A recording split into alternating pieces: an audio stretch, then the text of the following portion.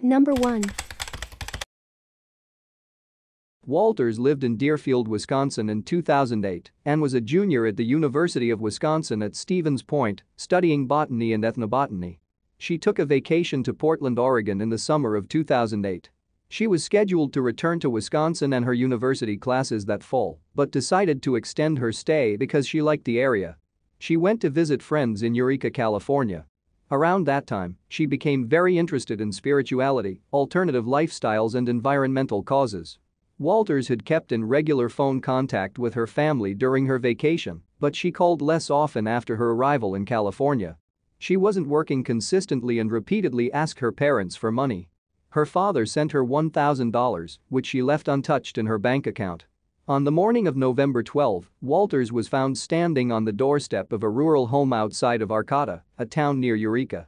She was confused, naked and covered with briar scratches. The homeowner called the police, who took Walters to St. Joseph's Hospital for treatment.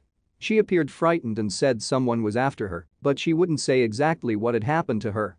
She tested negative for drugs, and police decided not to detain her. They took her to the Red Lion Hotel in the 1900 block of 4th Street. She made arrangements with her parents to fly home. She had lost all her identification and was trying to get new documents so she could travel. Walters was last seen on November 14. She went to a copy center where her mother faxed her some papers to help her obtain new identification. Employees at the copy center stated Walters appeared nervous and paranoid and tried to hide the papers. She has never been heard from again.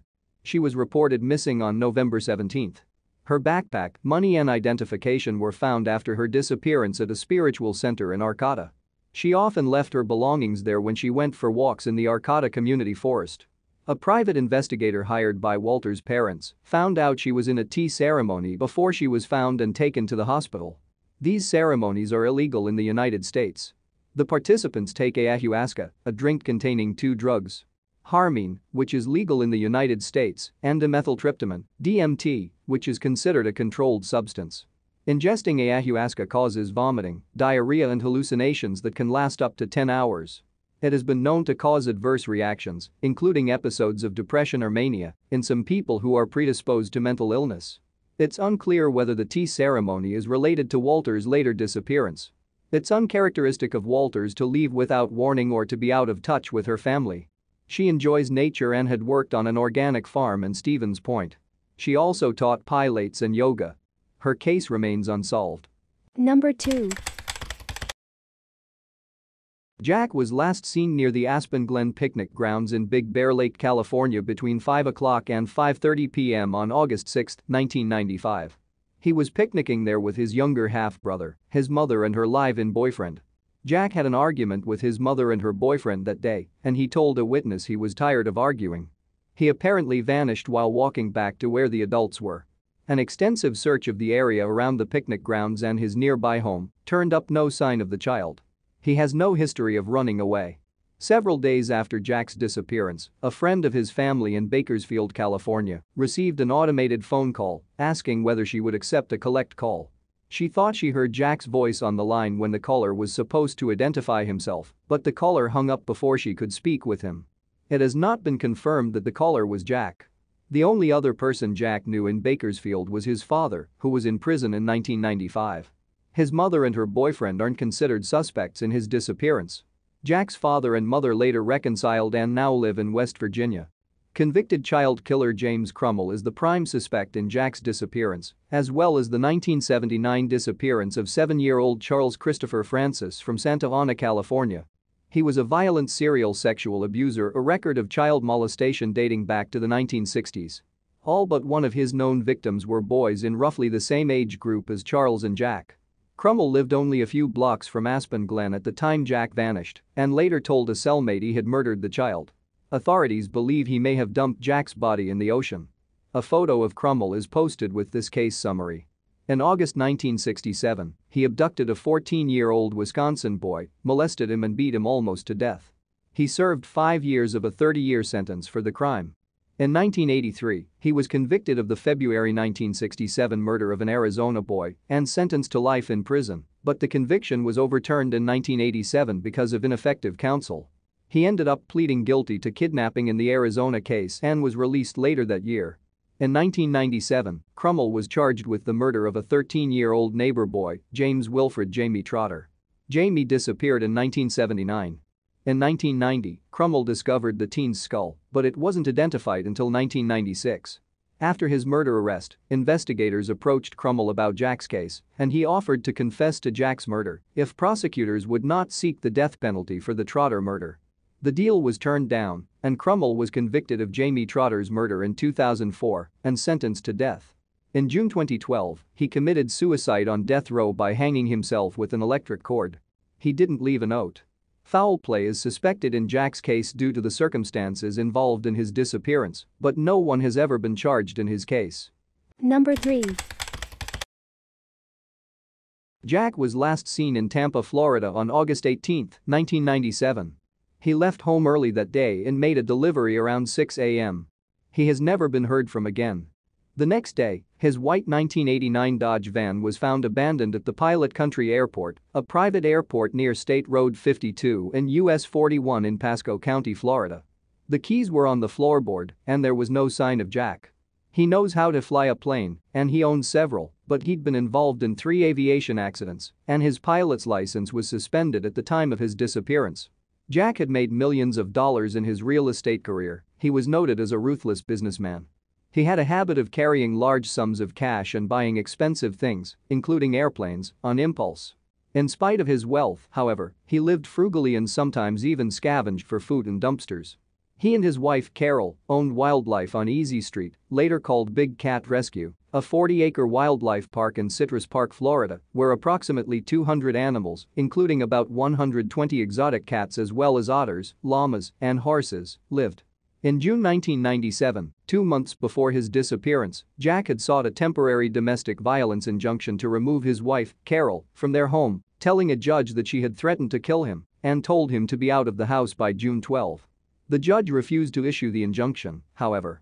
Carole said she asked Jack to go see a psychiatrist, and he went, but only for one appointment, he didn't return for any follow-up visits. She stated he had told her several times that he wanted a divorce, but she didn't think he was being serious. She also denied having ever had a serious argument with him, in spite of what Jack had claimed earlier. After his disappearance, Jack's four children from his first marriage fought with Carole over control of his businesses and property. They believe foul play was involved in his disappearance.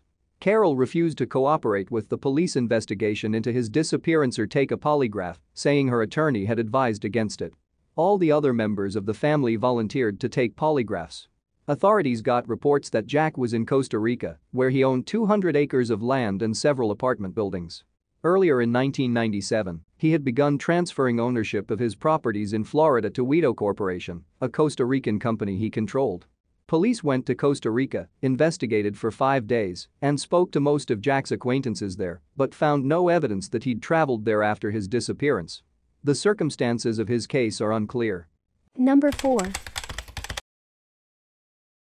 Teekah and nearly a dozen of her family spent the evening of January 23, 1999, at New Frontier Lanes Bowling Alley on Center Street in Tacoma, Washington. Teekah was last seen playing a race car video game in the arcade section of the alley between 10 o'clock and 10.15 p.m.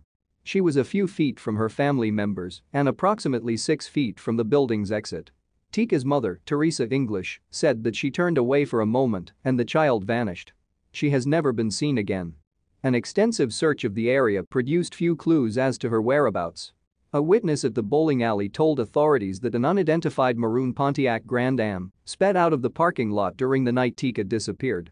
The vehicle may have had four doors and was possibly a late 1980s or early 1990s model with dark tinted windows and a large spoiler.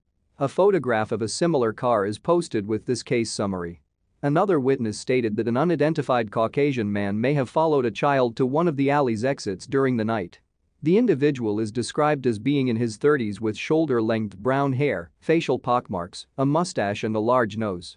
Investigators do not know if the vehicle or the unidentified man are connected to Teekah's case. In November 1998, two months before Teekah disappeared, a four-year-old boy was sexually molested in the bathroom at New Frontier Lanes. The suspect had brown curly hair and a beard, and two security guards believed they'd seen him at the bowling alley before but didn't know his name. A few weeks after that, a Caucasian man with brown hair tried to lure a six-year-old boy from the same bowling alley, claiming he was the child's father. Earlier on the day Teekah went missing, a man with curly brown hair attempted to take two children from a park less than a mile from the bowling alley. The children's father chased him away and he fled in a blue 1995 Pontiac Grand Am. The children's father didn't report the incident to the police until three days later after he found out about Teekah's disappearance on the news. No arrests were made in any of these cases, and it's unclear whether they're related to Teekah's apparent kidnapping. Teekah's biological father was imprisoned at the time of her disappearance and has been ruled out as a suspect in her case. Teekah is described as having a quiet, shy personality. She enjoys eating candy, her favorite brand being Starbursts. Foul play is suspected in her case, which remains unsolved.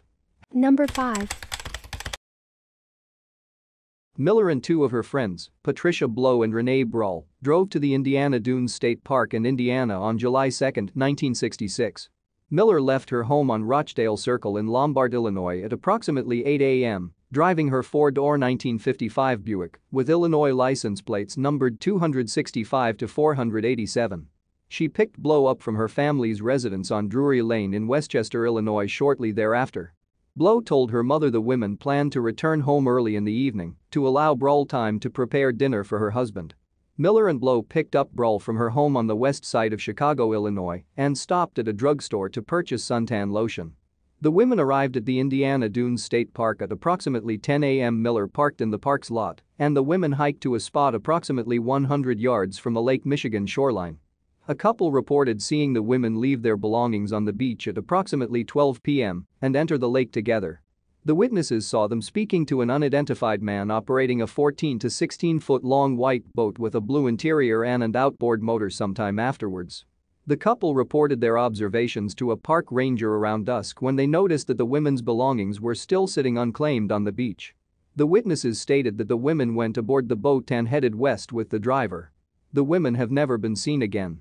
Miller left her denim shorts, a polo shirt, shoes, a white bathing cap, a comb and her thermos bottle on the beach. The three women's belongings were collected by the ranger the night of their disappearance and stored in the park superintendent's offices until two days later on July 4, 1966. Blough's father called the office on that day, asking if anyone had seen the women. The park rangers soon learned that missing persons reports had been filed for Blough, Miller and Bruhl over the weekend in Illinois by their families. The Rangers began investigating the park and located Miller's Buick in the parking lot. Her car keys had been located with her belongings, and some items of the women's clothing and other personal effects were still inside the vehicle. The car was apparently parked in its original space from July 2. The park rangers contacted other law enforcement agencies, including the United States Coast Guard.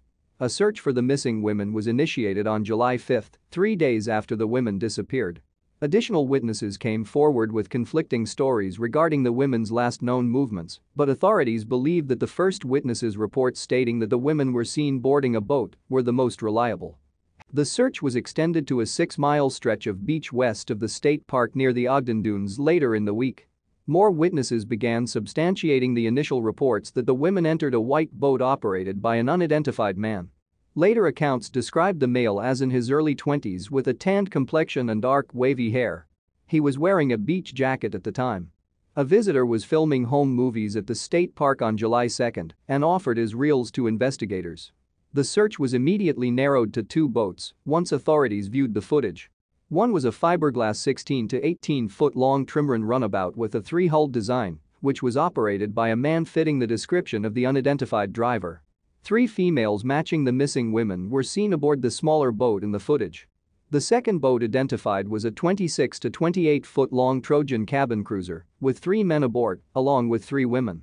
The cabin cruiser was seen at approximately 3 p.m. three hours after the women entered the smaller vessel.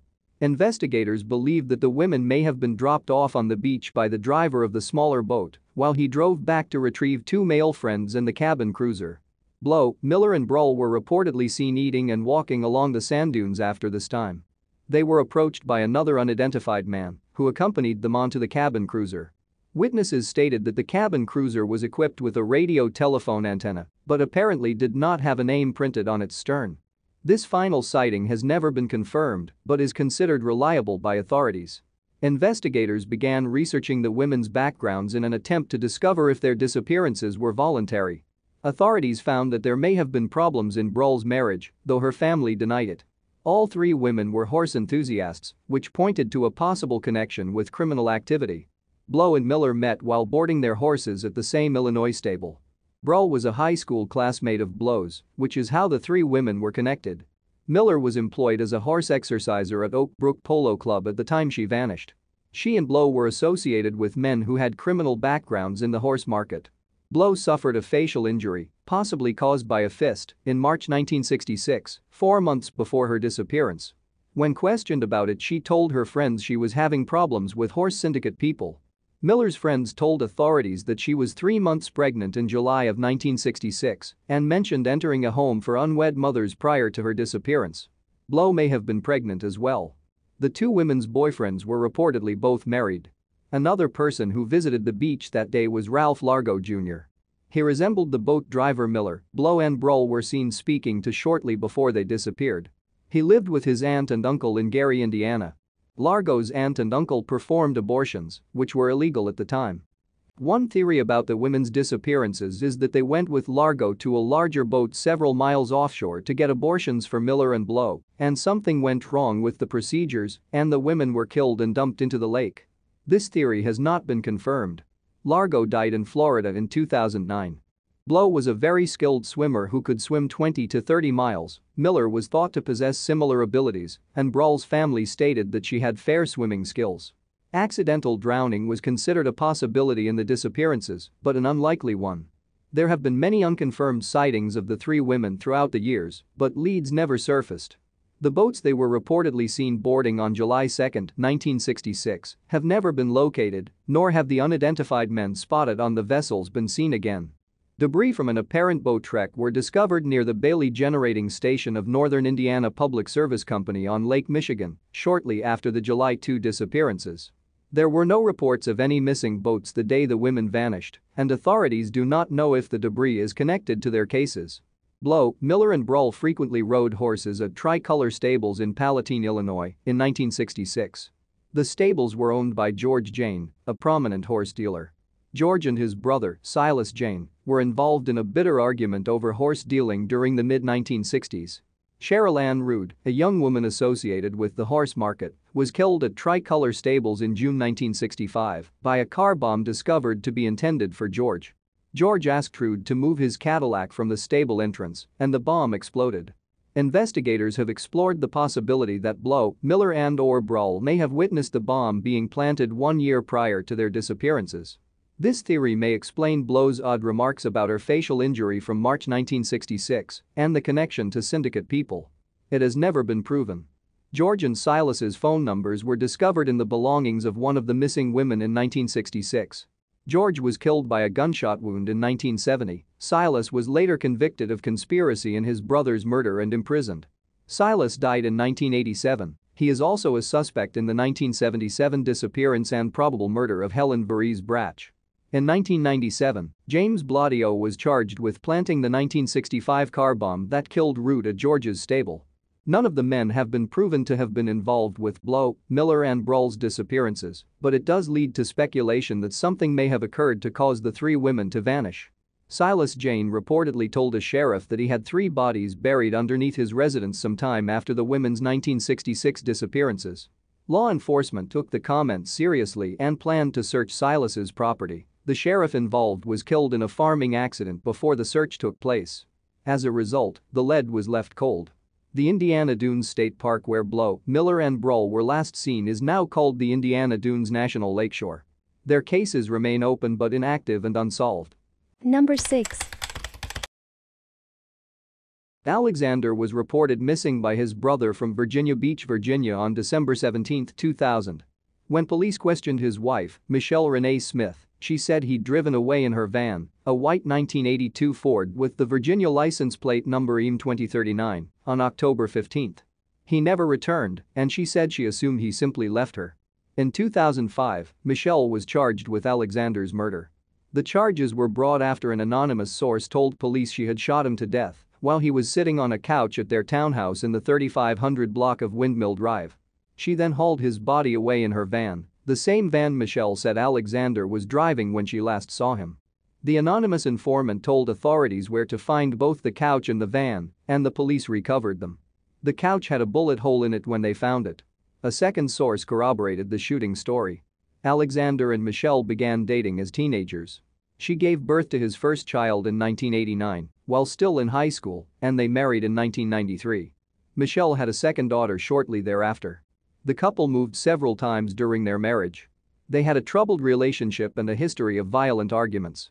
Michelle had brought assault charges against Alexander before, but always withdrew them. She had been charged with shooting him in 1993, but she claimed self-defense, and the charge was dismissed.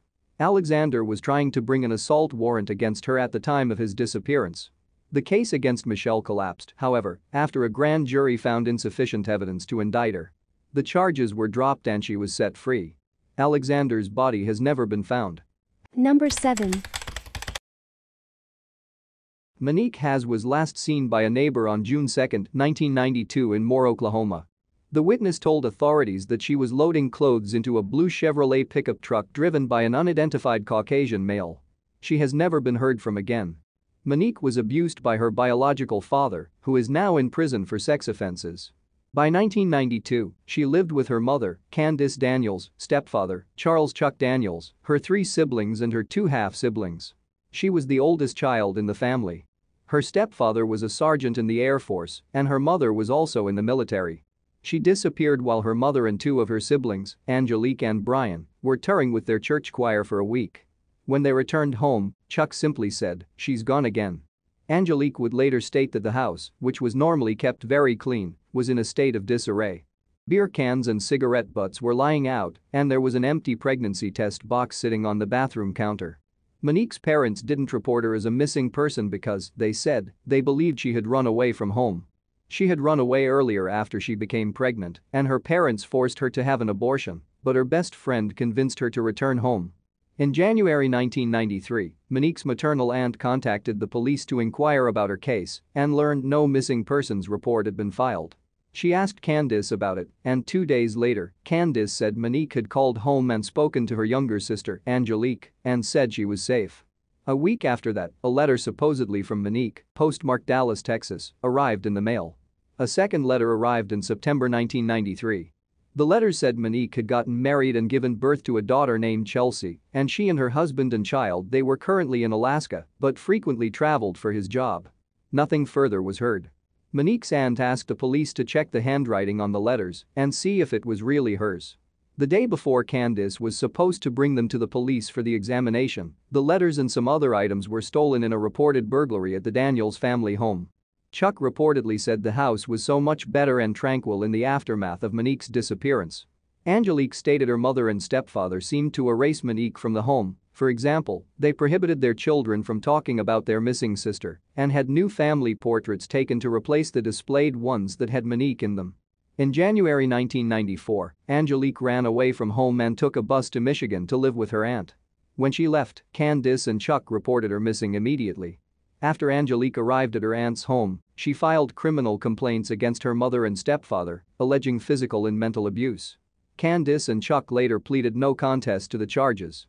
Angelique also told the police that Chuck had made her write the letters they said were from Monique and that he drove her to Texas so they could mail them.